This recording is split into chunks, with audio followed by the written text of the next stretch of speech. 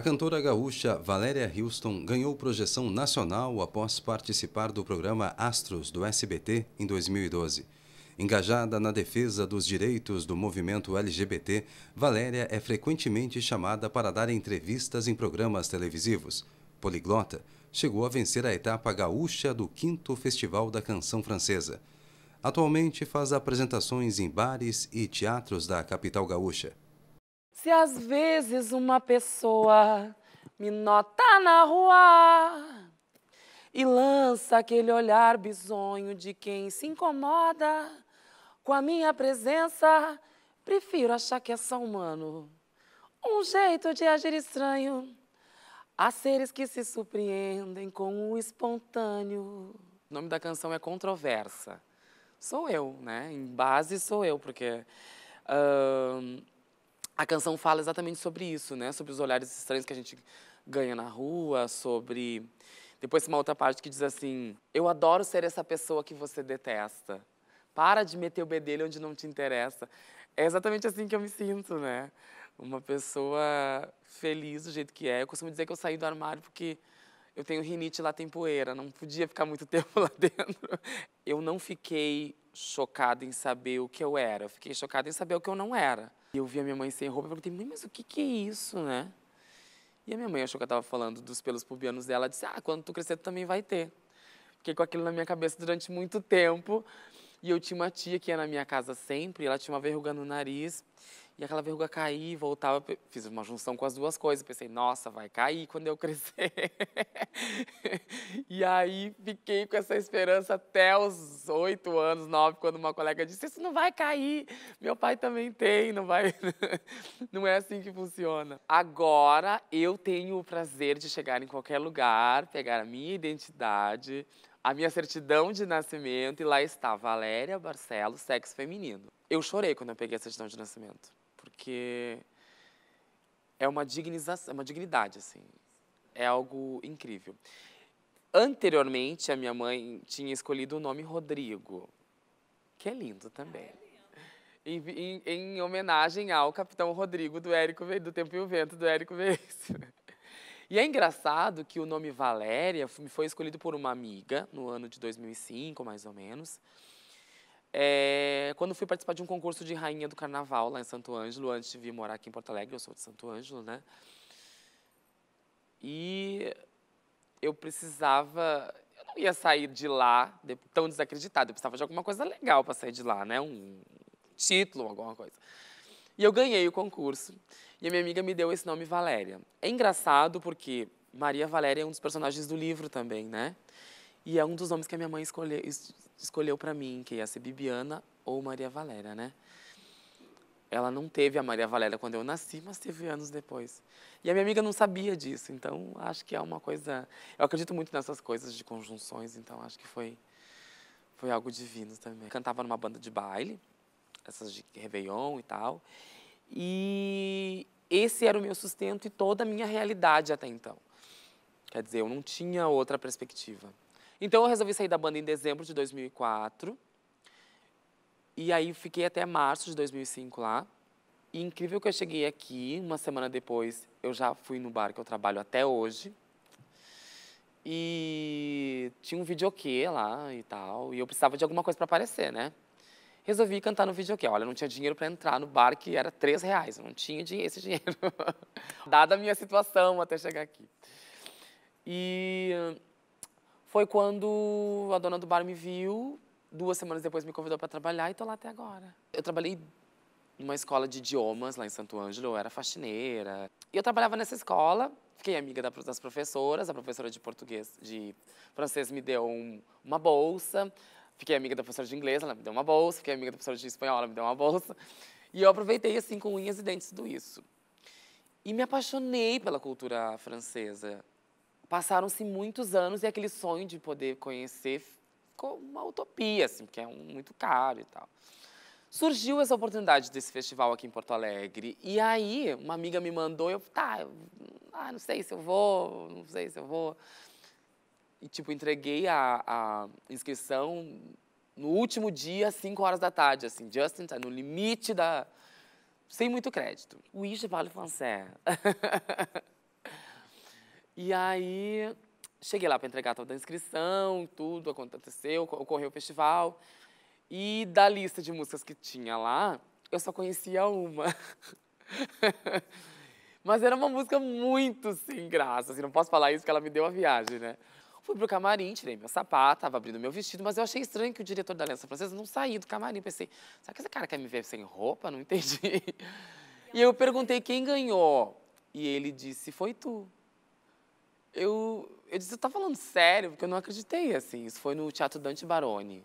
Foi lindo, uma apresentação lotada. Eu estava inspirada aquele dia, assim, estava toda lânguida, com vestido de princesa, me sentindo uma, uma princesinha naquele dia. E foi lindo, assim. E a viagem foi algo incrível. Eu programei a viagem durante um ano.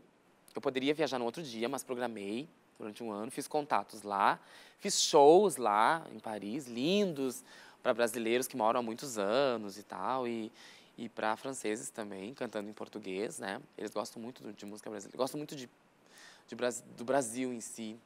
Consegui muitas coisas legais. Gravei um documentário para a TV francesa que falava sobre transexuais que tem uma outra ocupação que não a, a, a, a, margem, né? Que não a marginalidade e tal. E foi lindo, assim, foi muito legal. Mas a realidade não é tão colorida como a gente imagina. Eu fui assaltada em Paris. Bem verdade que o assaltante era lindo mas eu fui assaltada em Paris. Eu sei que a minha imagem chama atenção, eu sei que é difícil ver uma trans que canta, eu sei o quanto a minha imagem causa curiosidade nas pessoas. Não se preocupem, eu sou estranha, mas eu canto direitinho. Eu sou exatamente o que vocês estão pensando, mas com um detalhezinho. Eu tenho talento, é diferente. A falta de educação com a arte, a falta de respeito com a arte já não é de agora, assim, né? Eu fico tão chocada com essas coisas. A gente está aí lutando para fazer um show no Teatro São Pedro, para juntar dinheiro e tal, porque tudo é caro. E eu sou da política de que todo mundo tem que ser remunerado na medida do possível e tem que ser valorizado, porque é, eu não sou uma pessoa só trabalhando ali, né? Tem equipe de produção, tem uma equipe de camarim. Eu sou das pessoas, eu sou uma das pessoas que preza muito por isso, assim. Eu venho de um lugar de colonização alemã, eu sofri muito para chegar até aqui, para conquistar as coisas que eu cheguei aqui. Eu tive que ouvir muito assim, ah, tu é só um negrinho vestido de mulher. Eu já ouvi muito disso. Eu nunca estudei música na minha vida. Eu não sei nem como é que é. eu tenho uma, um instrumento maravilhoso que nunca me trai, que é o meu ouvido. Eu estudei piano clássico por uns três anos. E foi engraçado porque isso é real mesmo. A professora falou isso para mim. Ela disse no primeiro ano, ela falou assim: ah, não se preocupa, tem gente que demora um pouquinho mais para aprender. No segundo ano ela falou, é, tem gente que demora um pouquinho mais.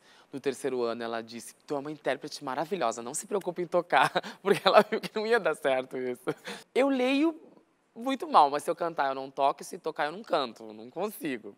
Mas não entendo assim. Eu comecei a cantar com seis anos de idade, num festival da minha escola. Ganhei o festival aos seis anos de idade. Tinha essas reuniões, essas coisas lá em casa. E é, vem, vem de casa mesmo, assim, vem de berço. A minha mãe, eu achava, eu lembrei agora de uma passagem muito interessante da minha mãe, que ela juntava as amigas dela, às vezes na, lá em casa, e dizia, ai, canta, canta, canta para elas ver. Ela achava que era uma coisa linda, parecia um bonequinho para cantar. Eu pensei durante muitos anos, assim, fazer a cirurgia, durante um tempo em que eu pensava uh, em que eu não entendia muito a transexualidade, que nada tem a ver com genitália.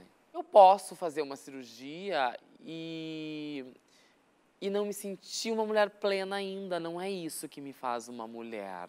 Hoje em dia a gente tem muitas sexualidades fluídas, assim, né? Antigamente pensava-se que existia homem, mulher e simplesmente isso. A gente sabe que existem muita nesse, nessa linha de homem e mulher, tem muitas outras coisas.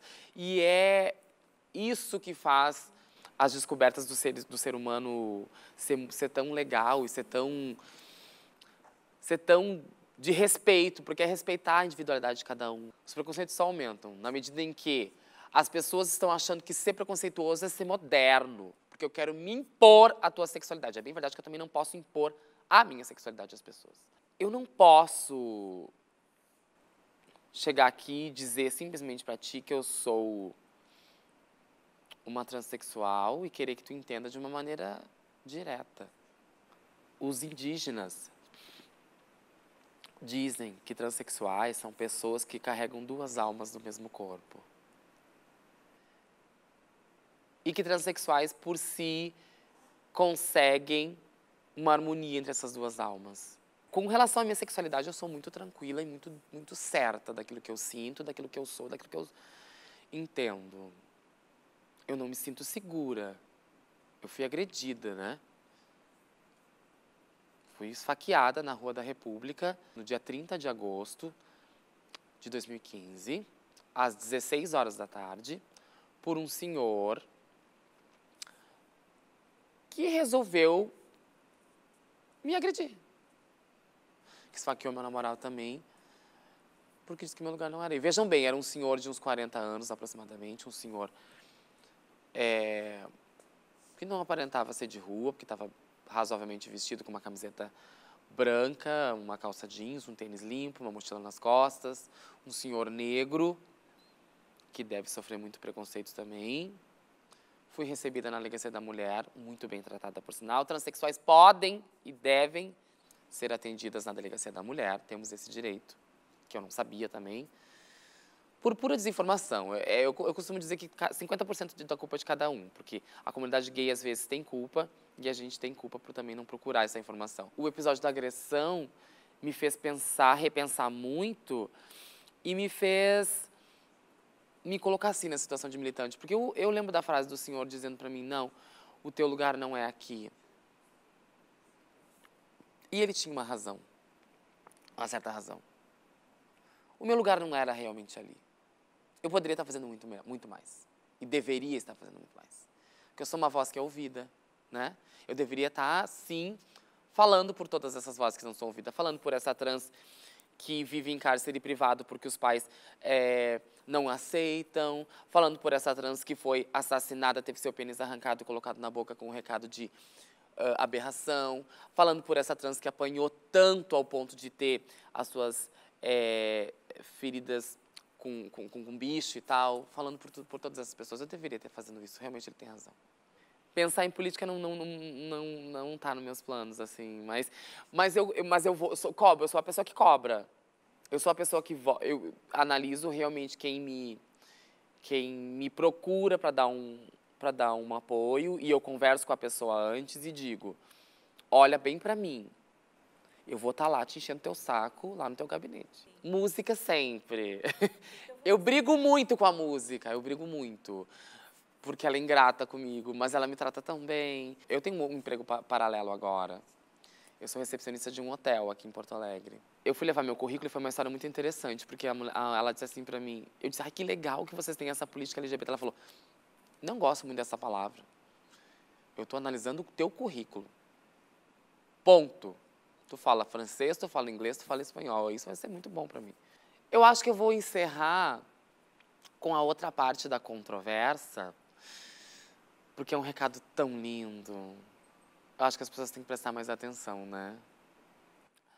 Mas saiba, meu senhor, senhora, que fiquei assim por desfrutar da liberdade de viver para mim e depois para você. E se meu jeito te incomoda, digo e repito a toda hora. Eu adoro ser essa pessoa que você detesta. Então para de meter o bedelho onde não te interessa. Eu não tenho raiva, eu não tenho culpa e não tenho pressa pressa nenhuma. Para de meter o bedelho onde não te interessa. A minha alma é pura, pouco me importa se sou controversa.